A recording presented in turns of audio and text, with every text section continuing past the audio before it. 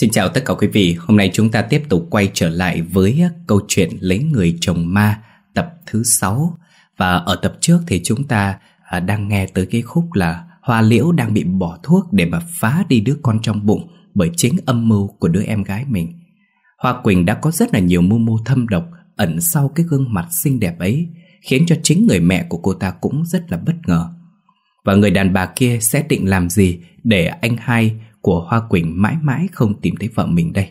Âm mưu gì đã được vạch sẵn? Mời tất cả quý vị cùng đón nghe tập truyện ngày hôm nay để giải đáp nhé.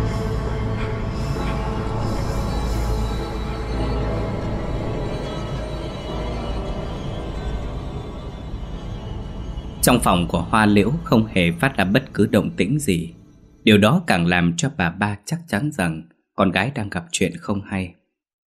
Gạt bỏ hết toan tính phía sau Bà ba lao vào phòng hoa liễu nhanh nhất có thể. Một cảnh tượng hái hùng đập ngay vào mắt Khiến bà ba sợ hãi xém ngất. Dưới nền nhà Hoa liễu nằm thoi thóp trên vũng máu. Ánh mắt gần như trở nên ngây dài Nhưng vẫn gồng mình khi thấy có người đến. Mẹ, mẹ, cứu con Cứu con của con.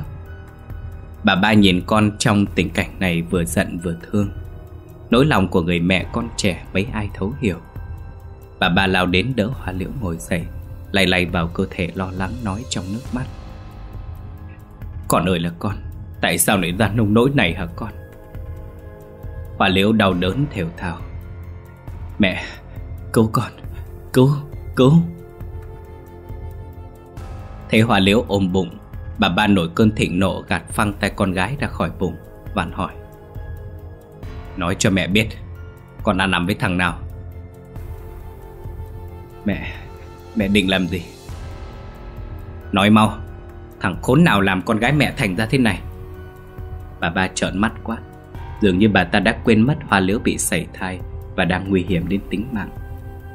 Hoa liễu nhìn mẹ bằng đôi mắt này nỉ, Khoe mắt lệ ướt đẫm trả lời.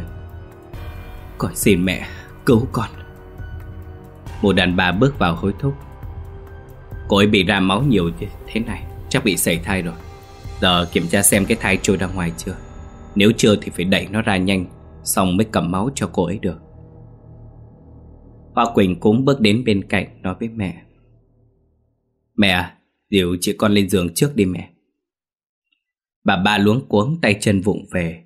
Tuy vẫn giận con gái lắm và căm phấn gã đàn ông làm con mình có thai Xong vẫn lo lắng cho Hoa Liễu.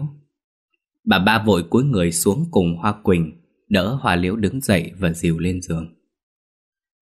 Mụ đàn bà sờ nắn bụng Hoa Liễu rồi lắc đầu nói Thôi chết, cái thai trong bụng cô ấy to quá Giờ không thể tự trôi ra được.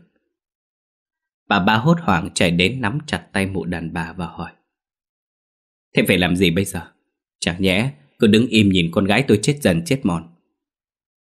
Mụ đàn bà trả lời Bà cứ bình tĩnh, có tôi ở đây rồi sợ gì nào? Vừa nói ánh mắt bà ta vừa nhìn chằm chằm vào hoa liễu Rồi khựng lại ở cái bụng lùm lùm nhô cao Mỉm cười tàn ác. Hoa Quỳnh bước đến hối thúc. Bà làm gì đi chứ? Nhanh lên trước khi anh trai tôi và đám người kia quay về. Một ta gật cù, Đặt bàn tay lên bụng hoa liễu ấn xuống thật mạnh Khiến bản thân hoa liễu đang liệm đi vì đuối sức Cũng phải gồng mình lên la hét trong đau đớn cùng cực. Mẹ, Xin hãy tha cho con của con một mạng, Đứa bé vô tội. Nghe thấy con gái trong cảnh ngàn cân treo sợi tóc Mà không hề lo lắng cho mạng sống của mình, Còn ra sức bảo vệ đứa con hoang, Làm bà ba nổi cơn tam bành. Bà ba kéo bà, Kéo mụ đàn bà lùi lại phía sau, Trợn mắt quát. Bà làm không tới thì bao giờ cái thai mới chịu trôi ra? Tránh qua một bên, để đấy tôi. Nói dứt lời Bà ba dùng hai tay nhấn mạnh xuống bụng hoa liễu. Ấn nắn như người ta nhào bột khiến hoa liễu mở mắt vì kiệt sức. Bà ba hét lên. Cái thứ nghiệt chủng kia, mày ra đây ngay. Ra đây cho bà.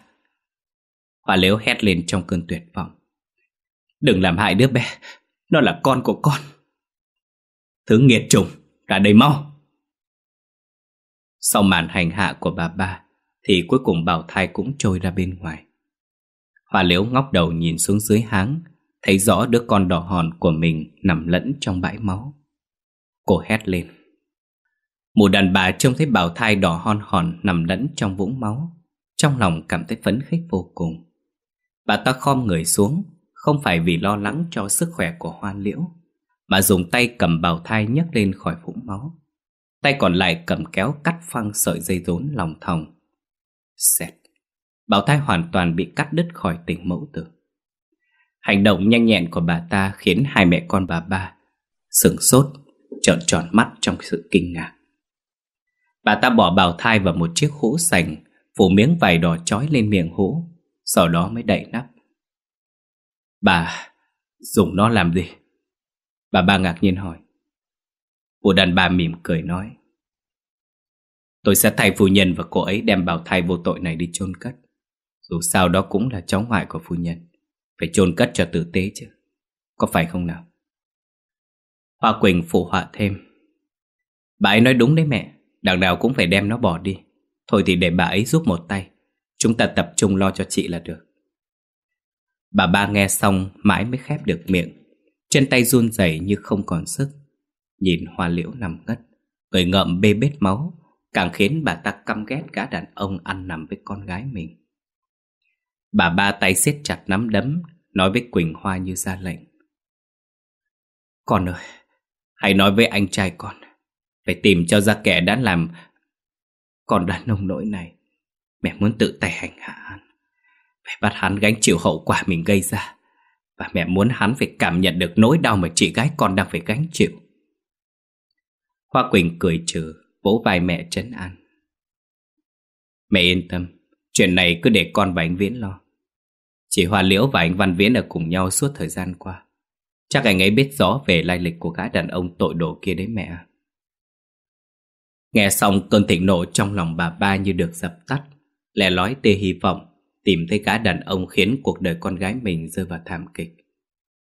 Bà ba toàn cúi xuống lo cho hoa liễu, Nhưng mụ đàn bà bên cạnh lên tiếng. Khoan đã Bây giờ phu nhân nhúng tay vào chuyện này thì chẳng phải công sức cài bẫy của chúng ta xem như vứt xuống sông xuống biển hết được. Bà ba ngạc nhiên hỏi.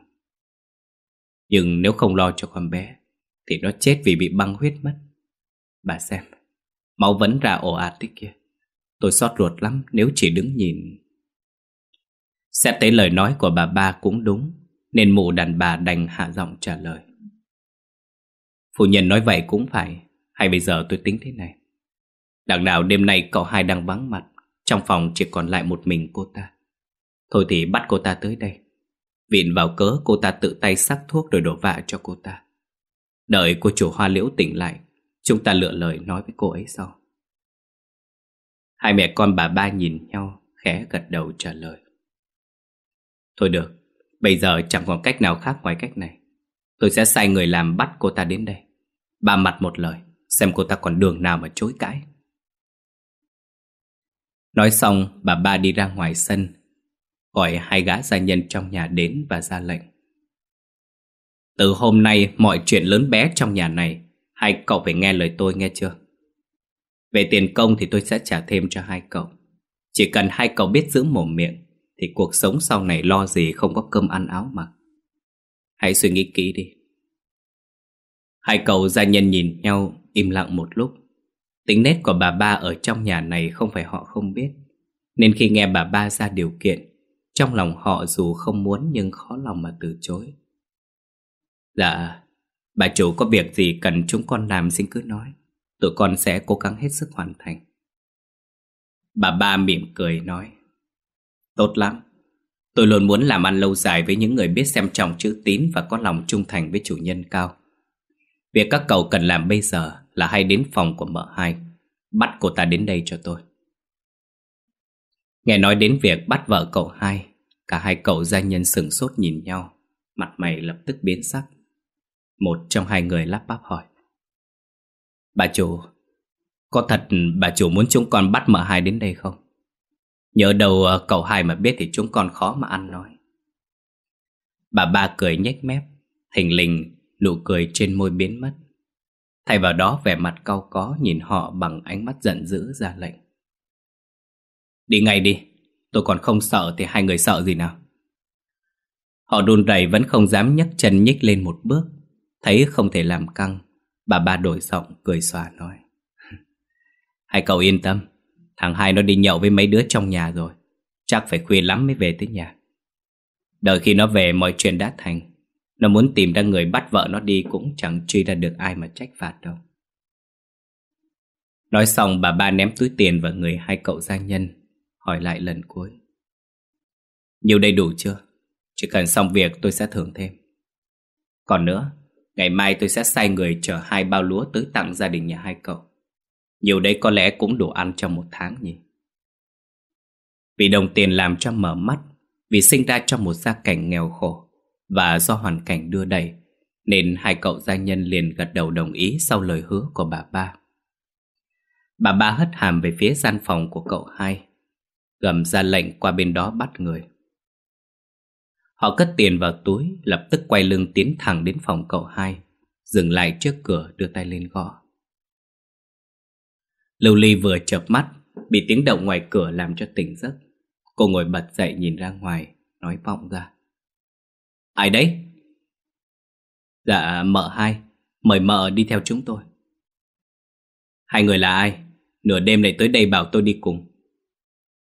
Dạ còn sớm mà mợ hai. Chẳng vẫn chưa quá đỉnh đầu. Nghe lời nói của gã gia nhân Lưu Ly cảm thấy có điều gì đó bất an. Cô lên tiếng thám thính. Nhưng uh, mời tôi đi đâu? Chồng tôi sắp về nếu anh ấy không thấy trong phòng sẽ lo lắng cho mà xem. Gã gia nhân bên cạnh đáp. Dạ Bà chủ mời mở hai sang phòng cô chủ hoa liễu bàn chút việc ạ. Mong mở đi sớm cho kẻo bà chủ với cô chủ mong. Lưu Ly nhíu mày làm nhảm trong miệng. Bà ba mời mình qua phòng cô chủ hoa liễu nói chuyện được Lẽ nào cô ấy đã kể hết sự thật cho mẹ cô ấy nghe? Nghĩ đến đây Lưu Ly tụt xuống khỏi giường. Biết không thể từ chối nên nói với họ. Được rồi, tôi ra ngay đây. Không muốn Văn Thành lo lắng cho mình khi về nhà, Nên Lưu Ly đã viết vội vài chữ Rồi đặt nó dưới chân cây đèn dầu ngay trên bàn. Hoặc thêm chiếc áo trải lại đầu tóc cho ngay ngắn Mới yên tâm bước ra khỏi phòng. Đưa tôi à, qua gặp cô chủ hoa liễu. Dạ vâng mở hai. Mời mở hai đi theo chúng tôi.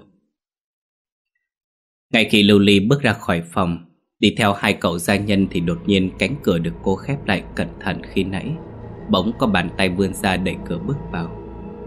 Người đó tiến đến giữa căn phòng, Đảo mắt nhìn bốn phía, Ánh mắt dừng lại chỗ cây đèn dầu. Cô ta bước đến, nhấc cây đèn sang một bên, Cầm tờ giấy lên đọc. Khỏe môi bỗng hiện ra một nét cười quái ác. Khi bước vào phòng của cô chủ hoa liễu, Cái thứ cảm nhận rõ nét nhất trong tâm trí Lưu ly lúc này. Chính là mùi nguy hiểm hòa quyện với vị tanh nồng của máu. Bên trên bàn, Sắc mặt bà ba không mấy thiện cảm nhìn Lưu Ly. Đợi Lưu Ly chào hỏi xong, Bà ba lên tiếng. Cô biết tội của mình gây cho con gái tôi chưa? Lưu Ly ngạc nhiên hỏi. Thưa mẹ ba Mẹ ba nói vậy là sao ạ? Con vẫn chưa hiểu ý của mẹ. Bà ba tức giận đập tay xuống bàn, Trừng mắt nhìn Lưu Ly. Nghiến răng run bần bật nói. Cô còn chối à? Cô nhìn con gái tôi xem. Xem nó còn giống một con người nữa không hả? Nói đến đây bà ba cố giữ lại bình tĩnh. Nước mắt lưng tròng đi đến bên cạnh chỗ hoa liễu. Ôm cơ thể mềm nhũn của cô vào lòng. Đức nở khóc than. Con gái ơi, sao số con lại khổ thế này hả con?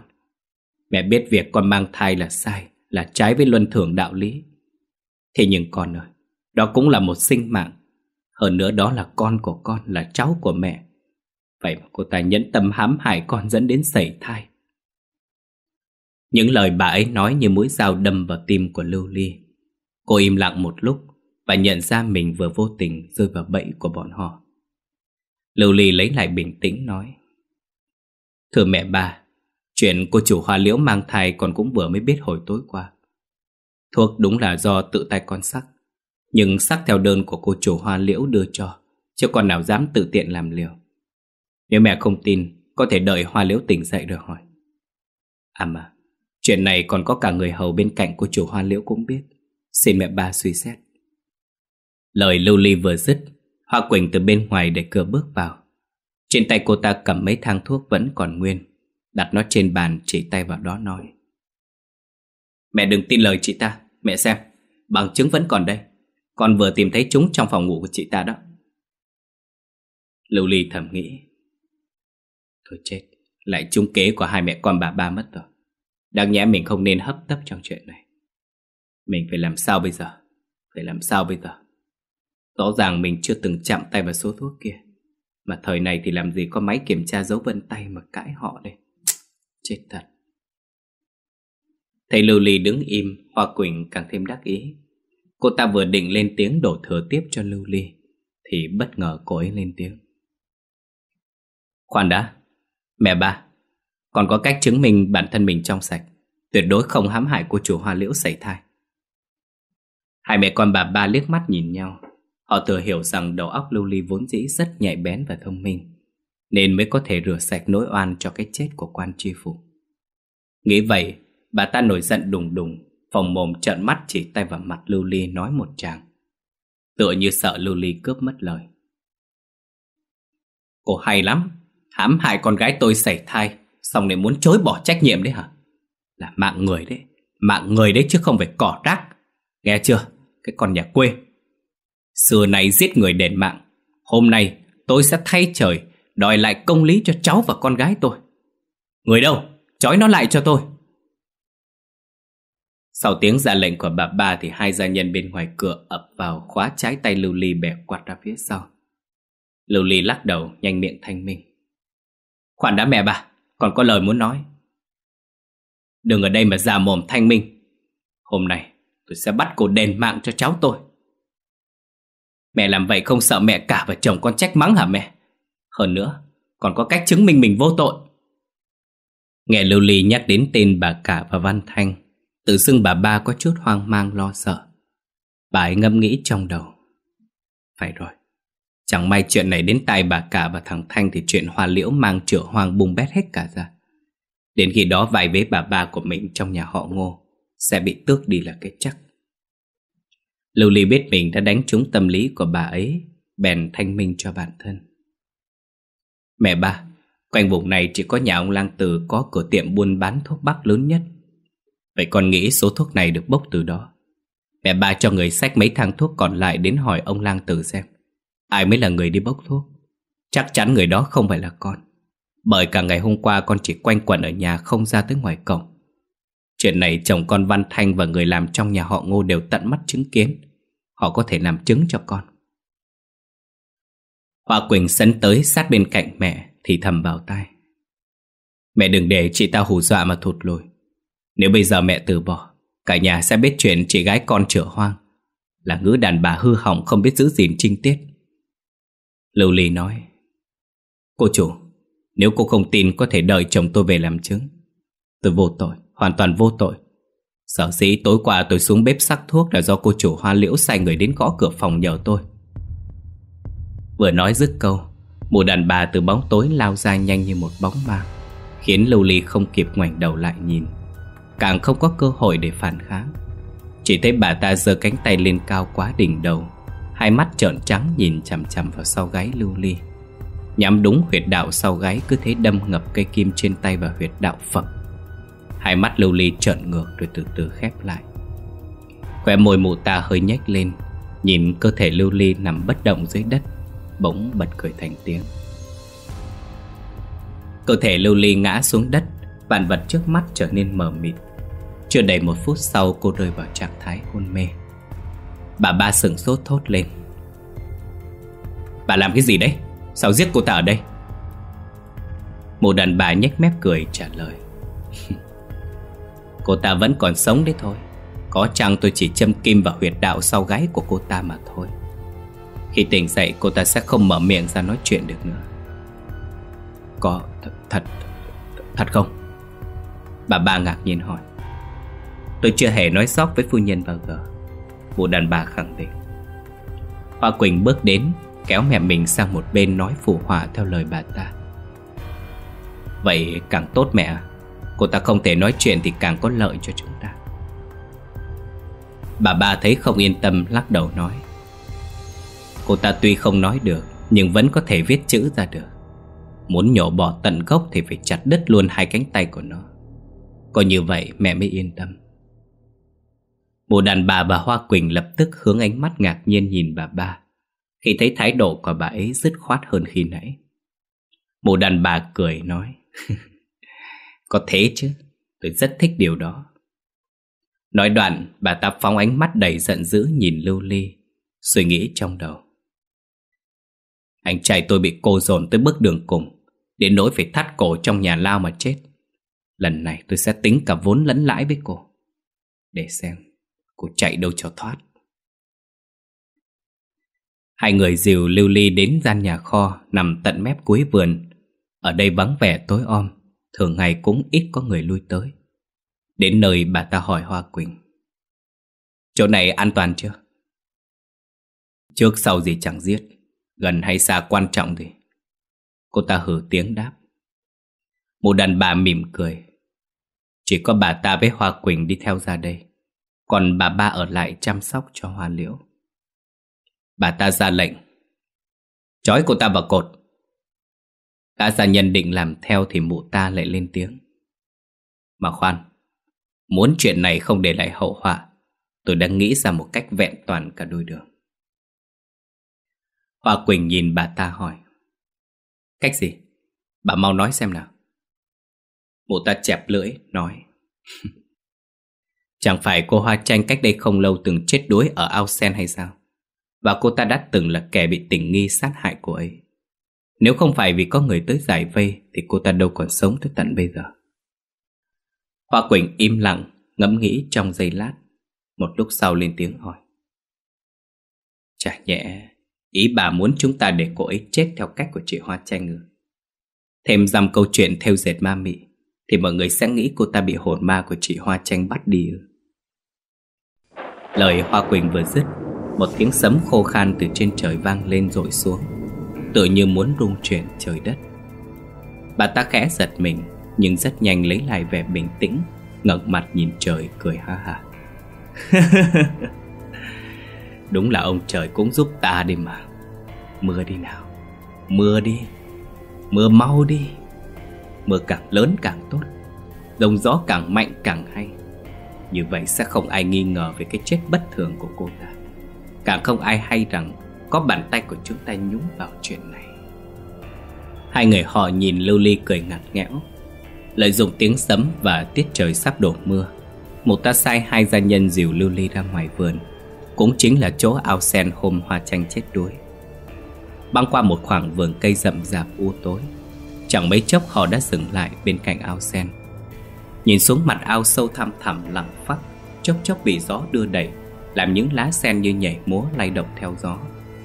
Thỉnh thoảng, gió làm chúng ngả rạp sang một bên, Trong lòng Hoa Quỳnh vui hơn bao giờ hết. Đến nơi rồi sao?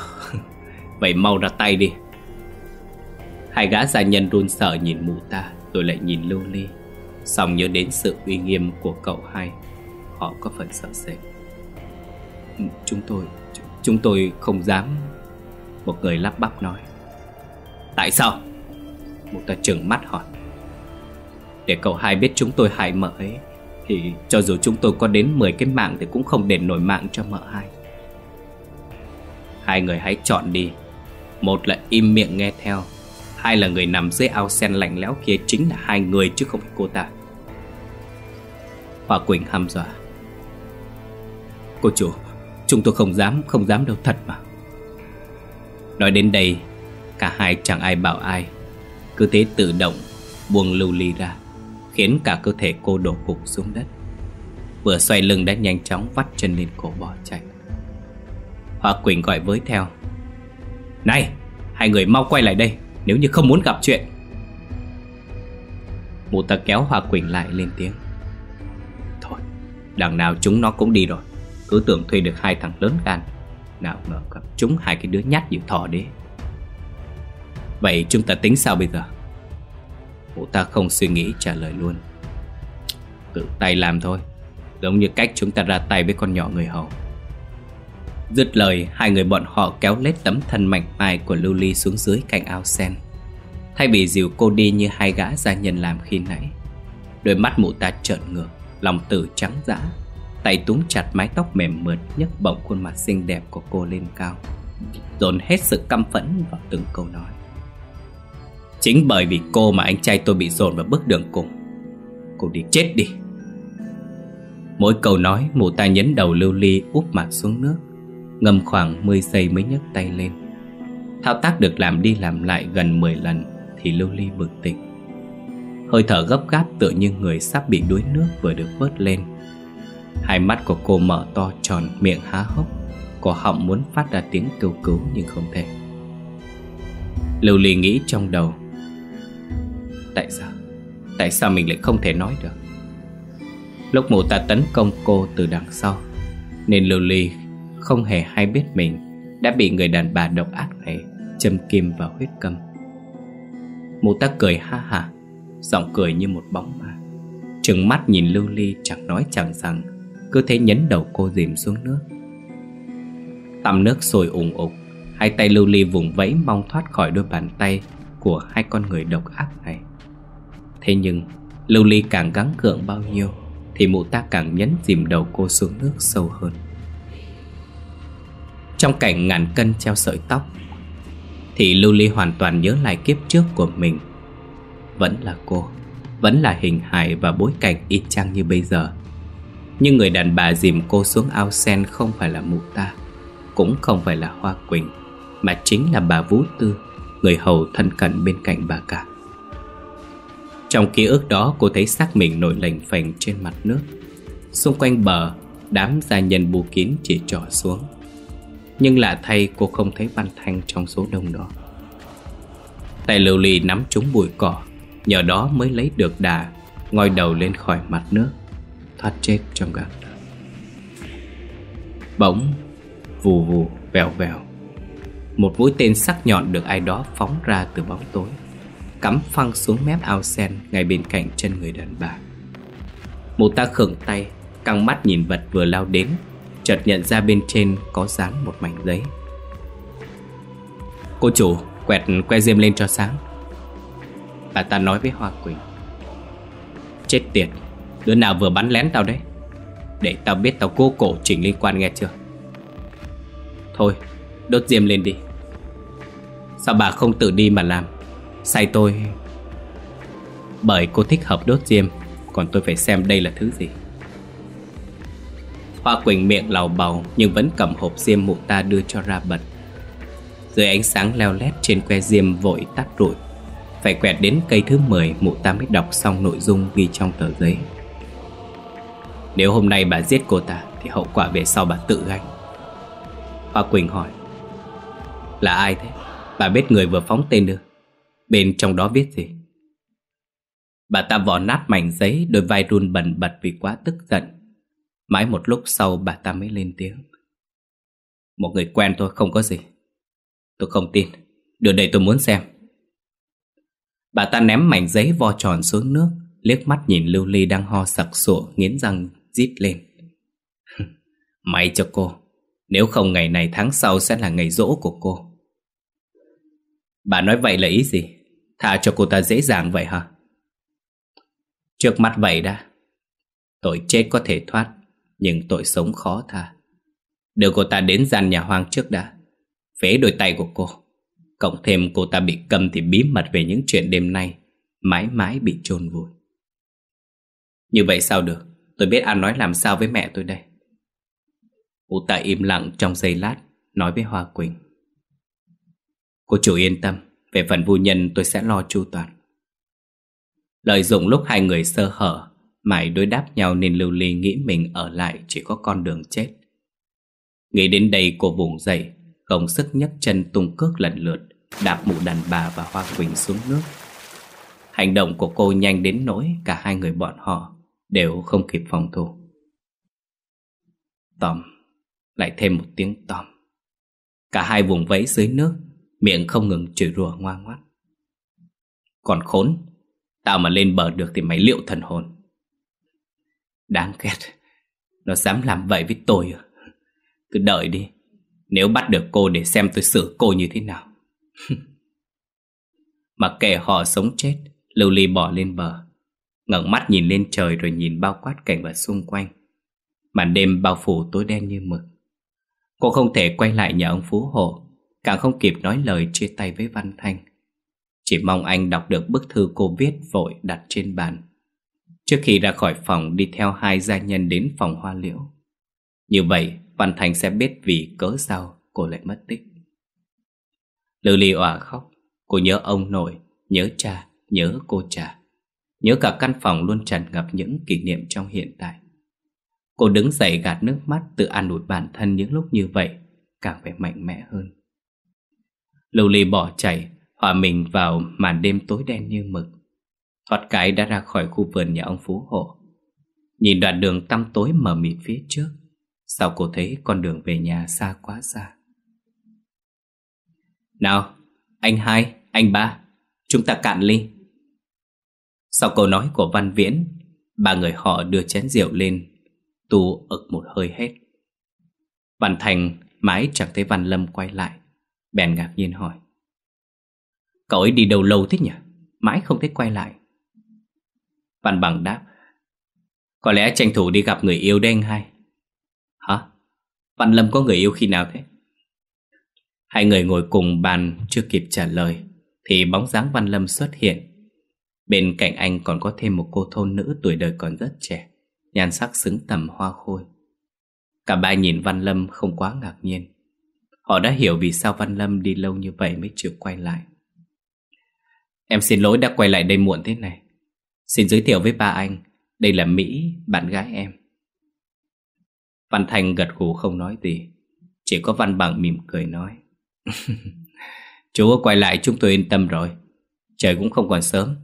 Uống hết chai rượu này à, chúng ta cũng mau về nhà nghỉ ngơi thôi. Trong lúc Văn Bằng và Văn Viễn mải mê bàn về chuyện tình yêu của Văn Lâm Thì à, trong lòng Văn Thanh nóng như có lửa đốt. Anh đứng phát dậy, dáng người hiên ngang Nói với họ trước khi rời đi. Các chú ở lại vui tiếp Tôi bận chút việc xin phép đi trước. Văn Viễn đứng dậy bấu chặt vào cánh tay của Văn Thanh níu lại. Bàn tay cậu ta bóp chặt tựa như muốn cào rách cái mảng da thịt trên cánh tay Văn Thanh. Nét mặt không có chút thay đổi, tỉnh bờ nói. Anh hai về sớm vậy, trời vẫn còn sớm, ở lại thêm lúc nữa rồi về. Văn Thanh liếc xéo nhìn bàn tay của Văn Viễn đang bấu chặt trên cánh tay mình. Biết hắn đang cố kiếm chuyện, liền làm bộ tươi cười, Đưa bàn tay lạnh ngắt của mình, Đặt lên bàn tay cậu ta bóp mạnh. Ngay tức thì sắc mặt Văn Viễn trông rất khó coi. Nụ cười tự nhiên khi nãy có chút méo mó gượng gạo. Văn Thanh từ từ gỡ bàn tay của cậu ta ra Nghiêm nét mặt rồi nói. Có nhiều thứ quan trọng đợi ta ở nhà hơn là ly rượu trên bàn nhậu. Rượu không uống hôm nay thì ngày mai uống tiếp, Nhưng có những thứ để mất rồi, Sẽ mãi mãi không tìm lại được. Nói tới đây Văn Thành bỗng cười xòa. Bàn tay bóp chặt cánh tay của Văn Viễn cũng được thả lỏng. Anh vỗ vỗ lên vai Văn Viễn Mỉm cười nói xua tan đi bầu không khí căng thẳng. Thôi nào, vợ tôi cô ấy đang đợi tôi ở nhà. Các chú ở lại về sau nhé. Văn Bằng gật đầu. Văn Viễn, em để anh hai về nghỉ ngơi trước đi. Kẻo chị hai ở nhà mong. Văn Thành bước đi không hoành lại nhìn họ lấy một cái khi đó bàn tay của Văn Viễn nắm chặt Hai hàm răng cọ sát vào nhau. Vầng thái dương giật liên hồi vì tức giận. Cậu ta ngẫm nghĩ trong đầu. Anh hai, anh cứ đợi đấy. Tôi sẽ đưa anh quay về đúng nơi đáng nhẽ ra thuộc về anh. Ánh trăng trên trời bị đám mây che khuất Càng làm cho cảnh vật và con đường phía trước trở nên đen đặc. Trời lặng gió. Lưu Ly nghe rõ nhịp tim của mình đập qua từng hơi thở phì phò. Hai chân cô mềm nhũn đau nhức, Không còn sức để chạy tiếp. Nghĩ mình chạy đã đủ xa Nên cô quyết định dừng lại nghỉ mệt một chút. Giờ đây cô mới có thời gian nghĩ lại những chuyện vừa xảy ra. Vừa nghỉ mệt được một lúc, Chưa kịp lấy lại sức lực Thì đột nhiên tim của cô nhói lên vài nhịp. Lưu Ly nhăn mặt, Tay đưa lên ôm ngực. Cơn đau mỗi lúc một nhiều, Tựa như có ai đó cầm cả nắm kim đâm thẳng vào tim mình là bà Tuyết mẹ kế của cô. Bà ta sau khi không được tiếp cận với Ngọc Điệp đã dùng hình nhân vải để hành hạ thể xác của Ngọc Điệp. Hiện tại Ngọc Điệp đang trong trạng thái người sống thực vật, nằm yên một chỗ. Nhưng từng mũi kim bà Tuyết đâm thấu vào tim thì Lưu Ly bên này đều cảm nhận rất rõ. Đúng lúc ấy Ngọc Lan bước vào. Bà Tuyết giấu vội con hình nhân vải vào ngăn tủ, rồi lật đật đóng ngăn kéo lại. Nhưng hành động lén lút ấy của bà Tuyết không tài nào vượt qua cặp mắt nhanh nhạy của Ngọc Lan. Cô ta uyển chuyển bước tới, nhón mông ngồi lên bàn, ngó sát vào mặt mẹ mình quan sát. Thấy sắc mặt bà ấy căng thẳng, mồ hôi lấm tấm đỏ. Bỗng Ngọc Lan bật cười. Một lúc sau lại lên tiếng hỏi. Con thấy cả rồi, mẹ cần gì phải giấu giếm? Bà Tuyết lắp bắp hỏi. Con... con thấy ư? Dạ, thấy rõ luôn là đằng khác. Nhưng mà có sao đâu. Mẹ là mẹ của con, mẹ làm vậy là để củng cố địa vị của mẹ trong ngôi nhà này. Và cũng vì muốn giữ quyền lợi cho con. Vậy sao con trách mẹ được? Con phải cảm ơn mẹ mới đúng chứ. Đúng không mẹ? Nghe những lời này của con gái bà Tuyết cảm thấy trong lòng nhẹ nhõm hẳn. Gánh nặng trên vai như vừa được chút bỏ. Bà ta nhìn con gái mỉm cười nói.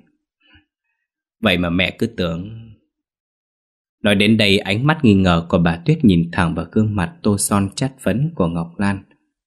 Ra sức vạn hỏi. Ngọc Lan, con hãy nói thật cho mẹ biết.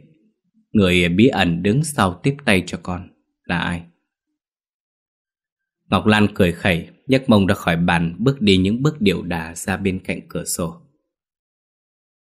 Nhìn xuống khoảng sân rộng lớn của căn biệt thự, ngẫm nghĩ gì đó trong đầu. Một lúc sau cô ta ngoảnh lại nói. Mẹ dùng từ tiếp tay nghe nặng nề quá. Hay là dùng tạm hai từ hậu thuẫn đi mẹ. Vậy sẽ nhẹ nhàng và ý nghĩa hơn. Bà Tuyết kéo con gái lại, Nghiêm sắc mặt hỏi. Ai? Là ai? Mẹ nói cho mẹ biết, Nếu ngay cả mẹ con còn giấu Thì mai mốt xảy ra chuyện gì một mình con tự chịu lấy. Mẹ làm sao mà trở tay kịp giải vây cho con? Biết mẹ mình giận, Ngọc Lan đứng phát dậy đẩy bà Tuyết ngồi xuống ghế, khom lưng ghé sát mặt vào tai bà Tuyết. Nói thì thầm chuyện gì đó mà chỉ có hai mẹ con bà ấy biết thôi. Nghe xong, bà Tuyết ngạc nhiên há hốc mồm, nhìn chăm chăm vào con gái, hỏi lại. Con nói thật chứ, hắn chịu giúp con hả? Điều kiện hắn đưa ra là gì? Mẹ không tin một kẻ có giá tâm lớn như hắn để chịu giúp đỡ con không công. Ngọc Lan biểu môi, nói núng nịu với mẹ. Có gì đâu mẹ phải bận tâm. Còn hứa với họ làm xong việc sẽ chia cho hắn một nửa số tài sản chúng ta kiếm được. Hơn nữa, Còn mắc nợ bên đấy khá nhiều Và chính hắn là người đã giúp con. Cái gì? Con thiếu nợ người ta? Thiếu nợ bên kia đấy hả? Trời đất ơi! Tiền bố mẹ vẫn chu cấp cho con hàng tháng, Tại sao con thiếu nợ người ta? Ngọc Lan thở hắt ra một hơi. Thái độ dần trở nên khó chịu vì bị bà Tuyết cằn nhằn. Chuyện đó mẹ khỏi lo, con giải quyết xong cả rồi. Trước mắt họ bảo bà đồng ý cho con vào công ty làm việc. Như vậy con mới tiếp cận và quen với công việc ở đó. Bà Tuyết định nói gì đó, nhưng lúc ấy điện thoại của Ngọc Lan bất chợt reo lên. Cô ta vội vàng móc điện thoại ra nghe, quay lưng bỏ đi về phòng mình. Bà Tuyết đứng nhìn theo bóng lưng của con gái gọi với theo. Này Ngọc Lan, mẹ vẫn chưa nói chuyện xong với con cơ mà. Ngọc Lan không hề bận tâm những lời của mẹ mình. Cô ta về đến phòng lập tức đóng cửa, cài chốt. Anh hẹn tôi gấp gáp vậy có chuyện gì quan trọng không? Đầu dây bên kia giọng nói của người đàn ông vang lên, vọng đến. Tôi hẹn cô ra là muốn bàn với cô chút công việc thôi, cũng không có gì gấp gáp. Vậy mà tôi cứ tưởng Mà thôi, nói đi Hẹn gặp nhau ở đâu tôi bắt xe đến. Vẫn cho cô nhé 10 giờ. Được thôi, đợi tôi một lát Thay đổi xong tôi đi ngay. Một lúc sau bà Tuyết vừa bước ra khỏi phòng Đã thấy Ngọc Lan từ phòng mình đi ra. Hôm nay Ngọc Lan ăn mặc rất đẹp Tô son kẹp mắt Trông cứ như đi tham gia một cuộc thi sắc đẹp. Bà Tuyết ngạc nhiên hỏi Con đi đâu đấy? Tối nay ba con về nhà ăn cơm đấy từ hôm con về nhà đến giờ hai ba con chưa từng ngồi với nhau ăn cơm chung. Ngọc Lan không buồn ngoảnh lại nhìn mẹ, vừa bước đi vừa trả lời. Ngày tháng chúng ta bên nhau còn lâu dài mà mẹ. Không ăn cùng nhau hôm nay thì ngày mai ngồi mâm chung có sao đâu nào. À quên Còn muốn mua một chiếc xe mới ngay trong tuần này. Mẹ nhớ chọn xe dùng con đấy nhá. Sau câu nói thì Ngọc Lan đã đi khuất xuống dưới nhà. Bà Tuyết chỉ biết đứng nhìn theo con gái mà thở dài. Bà Tuyết lo sợ Ngọc Lan vì nóng lòng muốn chiếm gia sản Mà hành động nông nổi, dễ bể chuyện Như vậy công sức bao năm phải cắn răng nhịn nhục sống cúi đầu hạ thấp bản thân trong ngôi biệt thự này của bà Sẽ đổ xuống sông xuống biển Cô trả đứng bên cạnh cửa sổ nhìn xuống quan sát Thấy Ngọc Lan leo lên xe đi khỏi nhà thì cô ấy mới lấy điện thoại ra gọi. Alo, các cậu nhớ theo sát cô ta cho tôi. Cô ta đi đâu làm gì gặp gỡ những ai phải cập nhật theo sát cho tôi. Đừng để mất dấu. Đầu dây bên kia đáp. Vâng, thưa bà chủ, chúng tôi đã sẵn sàng. Cô trả cúp máy, đứng suy tư ngẫm nghĩ về mọi chuyện. Kể từ hôm Ngọc Lan về nước không có ngày nào cô ngủ ngon giấc. Bởi cô biết Ít nhiều gì tai nạn của ba cô và của chú Hải, luật sư, thế nào cũng có liên quan đến hai mẹ con người đàn bà này. Cô trả đập tay vào thành cửa sổ, tự nói chuyện một mình. Mẹ con hai người cứ đợi đấy, tốt nhất đừng liên quan gì đến vụ tai nạn của ba và cháu gái tôi. Nếu không, chính tôi là người tiến đưa hai mẹ con cô xuống địa ngục. Ánh mắt cô nhìn xa xăm kiên định hơn. Sau cơn đau tim tưởng chừng bản thân mình sẽ chết Thì Lưu Ly bất ngờ trở về trạng thái khỏe mạnh bình thường Tim cô không còn đau nữa Đôi chân vững vàng hơn khi đứng dậy Khi đó cô hiểu rằng mình cần phải chạy tiếp Trước khi mụ ta và Hoa Quỳnh cho người đi bắt mình về. Lưu Ly đi tiếp, Vừa đi đôi mắt vừa đảo nhìn bốn phương tám hướng. Phần thì thám thính xem nơi đây có mai phục không, Mặt khác cố gắng căng mắt ra để dò đường. Bỗng, Đằng xa có tiếng la hét thảm thiết rồi đến, Khiến bờ vai mảnh mai của Lưu Ly run lên bần bật. Cô nhanh chân chạy tạt sang một bên trốn sau bụi cây dài. Một bóng người từ phía trước chạy đến Dần hiện ra ngay trước mắt. Đó là một cô gái. Lưu Ly chưa kịp nhìn rõ khuôn mặt của cô gái, Thình lình có tới hai, ba cái bóng xuất hiện. Họ đuổi theo ngay sau lưng cô gái. Tất cả đều là đàn ông. Tay cầm cây đèn bão, Tay còn lại cầm con dao dài sắc bén. Cô gái vừa chạy vừa hô lớn. Cứu tôi với! Có ai không? Cứu tôi với! Vừa nói dứt câu Cơ thể cô gái ngã sóng xoài xuống dưới đất. Thì ra, Một trong ba gã truy đuổi cô gái Đã vung con dao sắc bén chém đứt lìa một bên cẳng chân của cô. Cô thét thất thanh Thả mạng cho tôi, Đừng giết tôi, Xin đừng hại tôi. Ánh mắt cô ấy sợ sệt nhìn đám hung thủ, Miệng mồm liên tục xin tha. Dưới ánh đèn đỏ quạch, Lưu Ly thấy cẳng chân bị đứt của cô gái nằm trơ trơ ngay trước mắt mình, Máu me dính đỏ chót. Cô hoảng sợ không kém gì cô gái kia. Tim đập thình thịch tựa như muốn nhảy ra khỏi lồng ngực. Tuy sợ hãi là vậy, Lưu Ly vẫn cố kiềm chế cảm xúc của mình. Cô quả quạng nắm lấy hòn đá ném đi xa. Bà gã hung thủ thấy động giật mình ngoảnh lại chỗ phát ra tiếng động. Một gã lớn tiếng hỏi, Ai đấy? Gã bên cạnh nhỏ giọng nói, Hình như có người đến. Nếu vậy nhanh nhanh giải quyết cho xong rồi chuồn thôi. Bọn chúng vừa lại nhìn cô gái. Lưu Ly ném thêm hòn đá nữa ra phía sau lưng bọn họ. Tức thì cả ba ngã khựng người. Một gã bắt đầu cảm thấy hoang mang bèn nói. Chúng, chúng, chúng mày Hình như ở đây ngoài chúng ta ra còn có người khác thì phải. Làm gì có ai? Mày điên hả? Thế, thế cái tiếng động lúc ấy là là của của chẳng nhẽ là là ma. Sau câu nói của gã, ba cặp mắt thay nhau đảo tròn nhìn bốn phía. Xung quanh, bầu trời vẫn tối om. Ngoài hơi thở và nhịp tim đập thì dường như không hề nghe thấy bất cứ tiếng động nào, dù là âm thanh nhỏ nhất. Tiếng rên rỉ của cô gái vang lên, cắt ngang dòng suy nghĩ của bọn chúng. Lưu Ly tưởng đâu cô gái kia sẽ thoát được một kiếp nạn Thì bất ngờ có thêm người đàn ông nữa đi tới Hắn ta tiến đến trước mặt Nhìn chăm chăm vào cô gái rồi hỏi Chuyện tôi sai mấy người làm Làm tới đâu rồi Cả đàn em đáp ừ, Cậu chủ Chúng tôi đã hoàn thành công việc Hắn cười nhếch môi Xong liếc sang chỗ bà gã đàn em lườm nguyết Tức giận rít lên Xong rồi mà cô ta vẫn còn sống vậy hả? Tao đã sẵn phải trừ khử nó rồi kia mà. Gã lắp bắp đáp. Dạ, dạ, đáng nhẽ xong rồi, bởi vì có tiếng động đột xuất nên tụi tôi, tụi tôi... Thôi, mấy người im miệng đi. Đã ra tay thì chớ lưu tình. Làm cho nhanh nhanh còn về nhà, khuya quá rồi. Lưu Ly nhận ra hắn, tuy cô mới tiếp xúc với hắn vài lần ở nhà ông Phú Hộ, nhưng vẫn có thể nhận ra đó là cậu chủ Văn Viễn, con trai của ông Phú Hộ và bà ba. Còn cô gái xấu số kia không ai khác, chính là người hầu gái bên cạnh cô chủ Hoan Liễu. Bây giờ cô đã hiểu câu nói thế nào là đuổi cùng giết tận.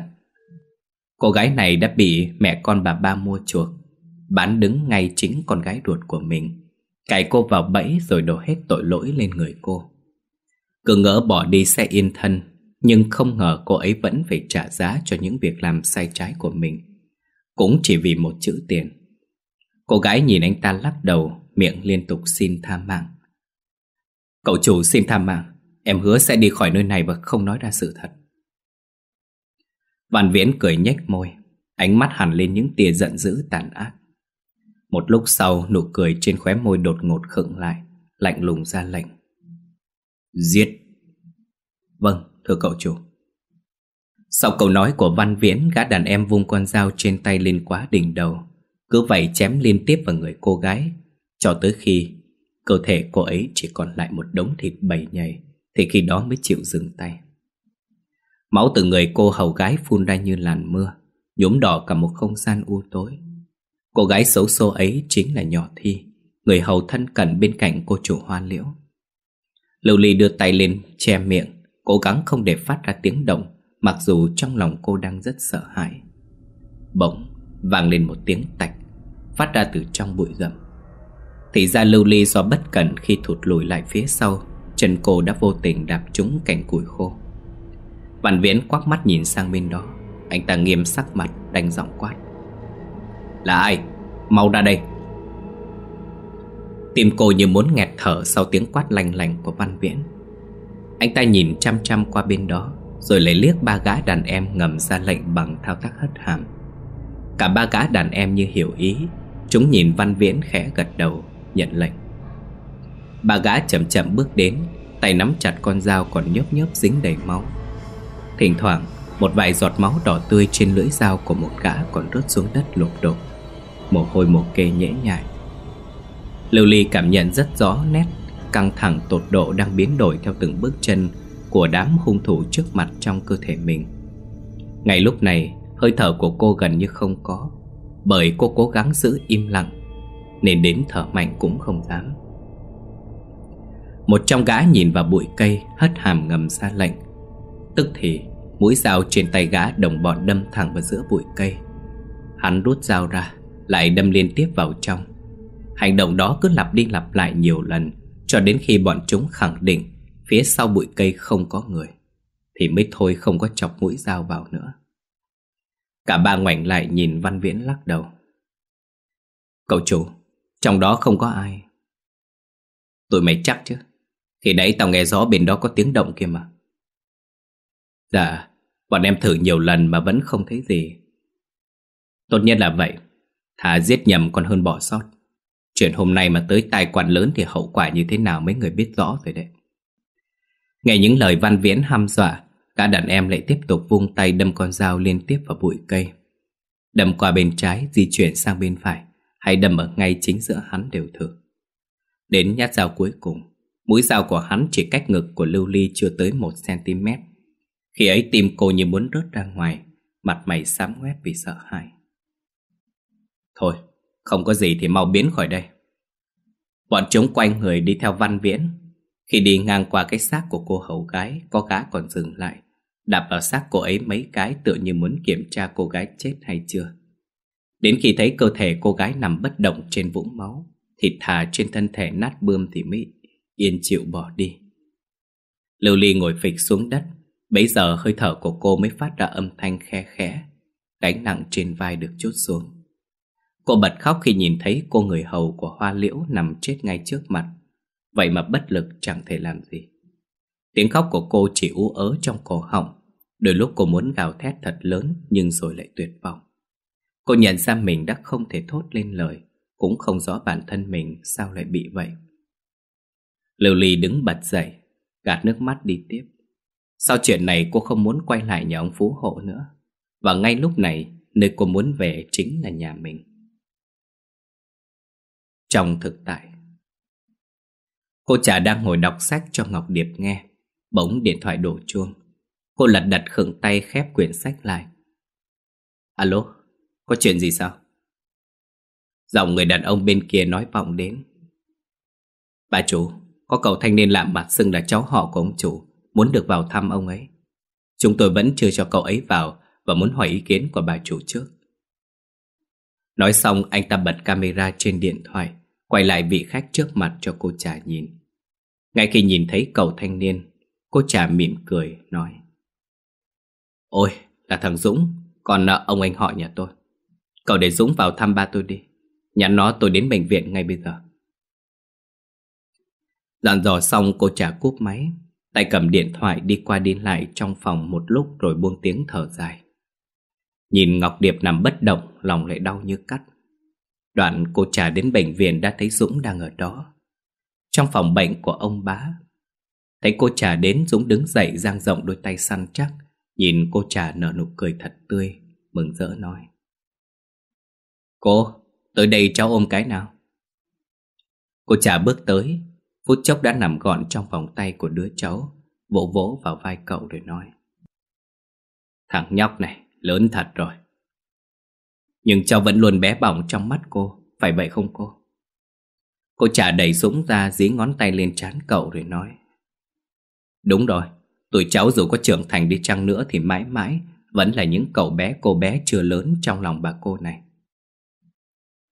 Cô trả kéo Dũng ra bàn ngồi nói chuyện. Dũng này, con về nước lâu chưa? Dũng thở dài, vỗ tay vào chiếc vali đặt cạnh ghế đáp. Dạ, con vừa về cô ạ. Xuống khỏi sân bay con bắt xe đến đây thăm ông luôn.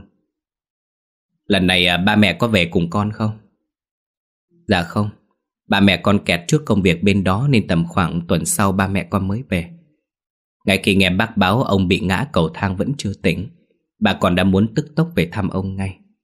Nhưng đến ngày đi thì công ty lại xảy ra chuyện. Thành ra con về trước ba mẹ là vậy. À không sao mà. Lâu rồi chưa gặp lại ba mẹ con, Nên cô cũng muốn gặp họ sớm để hàn huyên tâm sự. Còn chuyện công ty bên đó ổn cả chứ?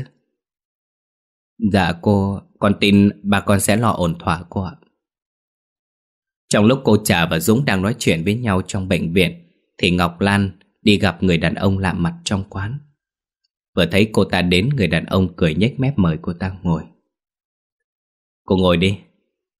Ngọc Lan bĩu môi, Vừa đặt mông ngồi xuống chưa nóng chỗ, Mắt đã đảo bốn phía quan sát.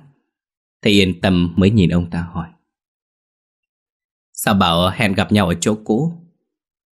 Người đàn ông cười nói. Vì chỗ đó không còn an toàn nữa. Thì ra là vậy. Cô Ngọc Lan này, Chúng ta không còn nhiều thời gian nữa nên cô đọc kỹ tài liệu này rồi làm theo nhé. Có như vậy, kế hoạch mới mau chóng thành công. Kết thúc sớm công việc ngày nào, Thì ờ, cả tôi và cô có lợi sớm ngày đó. Ngọc Lan vội dở sắp tài liệu ra xem. Xem xong, cô ta há hốc mồm sừng sốt, Ngước lên nhìn người đàn ông lắp bắp hỏi. Chuyện này thật thật thật thật thật chứ? Người đàn ông nhún vai cười trả lời. Tại sao không? Tôi tưởng Cô về suy nghĩ kỹ đi Không cần trả lời tôi ngay hôm nay. Nhưng uh, cô chỉ có 3 ngày để trả lời cho câu hỏi này. Lâu quá tôi sẽ hợp tác với người khác. Biết thần thế và vai vế của gã đàn ông trước mặt không phải dạng vừa. Nếu để tuột mất cơ hội lần này Thì chắc phải lâu lắm cô ta mới có cơ hội thứ hai. Hoặc giả Ngọc Điệp bất ngờ tỉnh lại sau cơn hôn mê Thì uh, gia sản sẽ mãi mãi thuộc về Ngọc Điệp. Nghĩ đến đây cô ta lại không cam lòng bởi cô ta chán ghét phải sống trong cảnh nghèo khó túng thiếu.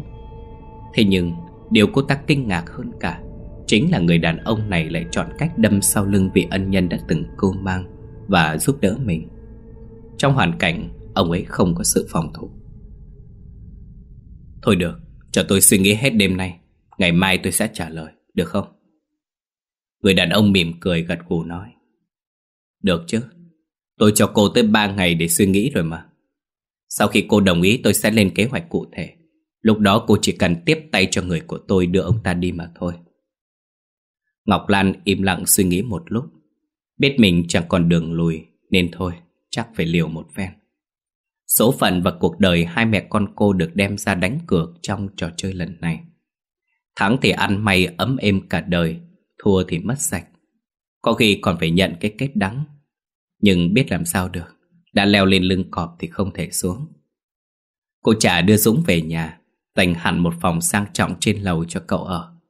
Bà Vũ đứng sau lưng mỉm cười nói. Trời ơi! Cậu Dũng đây sao? Vũ nhớ hồi ông bà chủ đưa cậu sang nước ngoài định cư cậu mới cao bằng chừng này. Vậy mà bây giờ cao lớn xém chút Vũ nhận không ra cậu chủ. Bà Vũ vừa nói vừa làm động tác chìa bàn tay ngang thắt eo của mình. Ý muốn diễn tả thân hình lúc nhỏ của Dũng trong trí nhớ của Vũ. Dũng quay lại đưa món quà cho Vũ rồi nói, Lâu ngày Vũ vẫn khỏe chưa à? Con cũng nhớ Vũ lắm đó. Còn đây là quà con tặng Vũ. Bà Vũ nhận quà rồi nói, Vũ cảm ơn cậu chủ nhé. Cô trả báo Vũ dọn phòng gấp quá Thành ra chưa được tươm tất. Còn thiếu gì hay cậu cần gì cứ nói, Vũ đi chuẩn bị ngay. Dũng gật đầu. Cậu đưa tiếp món quà thứ hai cho nhỏ Na cười nói.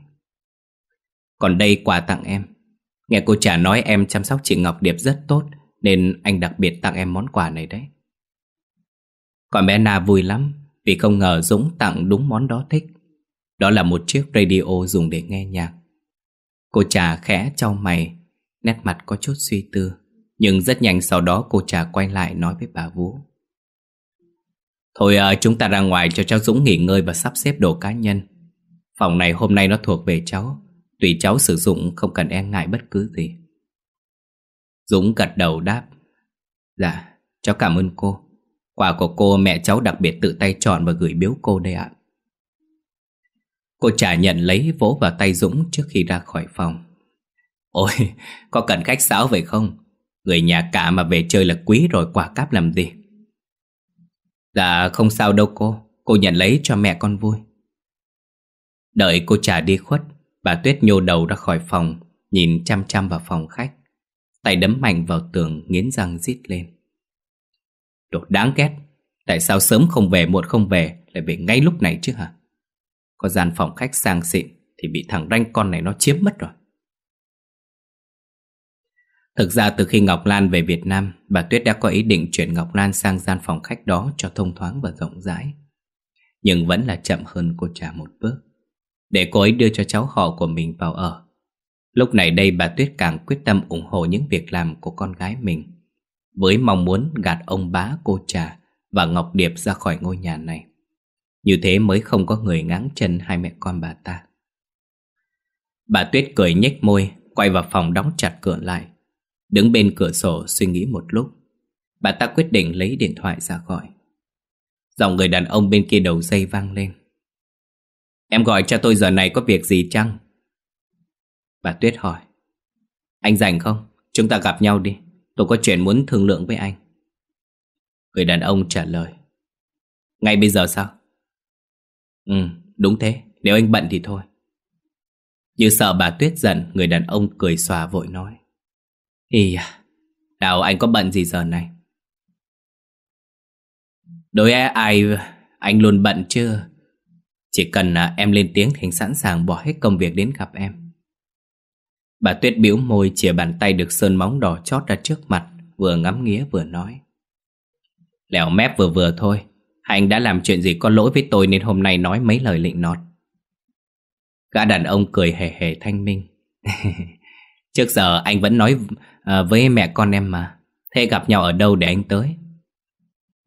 Bà Tuyết trả lời ngắn gọn được cúp máy. Chỗ cũ nhé, Khách sạn RT phòng 302 Nói xong bà ta đặt điện thoại xuống bàn, Đi đến tủ quần áo chọn chiếc đầm mới cóng vừa mua hôm qua ướm thử vào người. Mặc đồ xong, bà Tuyết xoay xoay mấy vòng ngắm bản thân mình trong gương. Xong xuôi, Bà ta xịt thêm ít nước hoa vào những chỗ gợi cảm. Đưa lên mũi hít một hơi dài Để cảm nhận ra khung cảnh lãng mạn khi ở bên gã tình nhân. Lúc này bà ta quên mất bản thân mình đã có chồng Đôi mắt trở nên mơ màng Chìm đắm trong cõi tình. Mây mưa thỏa mãn với gã tình nhân xong Bà Tuyết kéo tấm chăn phủ lên người mình kín tới ngang ngực Lưng tựa vào thành giường Nhìn mặt gã nhân tình phê lòi kèn cứ nghệt ra Khiến bà ta càng thêm thỏa mãn. Nỡm, về đến thế cửa à? Gã tình nhân cười, Bàn tay không chịu để yên, Luồn lách sờ soạng khắp cơ thể bà Tuyết, Thì thầm nói.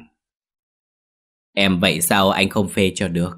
Nhưng lần nào em cũng muốn ăn tươi nuốt sống anh thế. Chả nhẽ lão chồng già của em hắn lại bị yếu sinh lý. Gã tình nhân mở to miệng, Mắt sáng rực hẳn rõ tia hy vọng.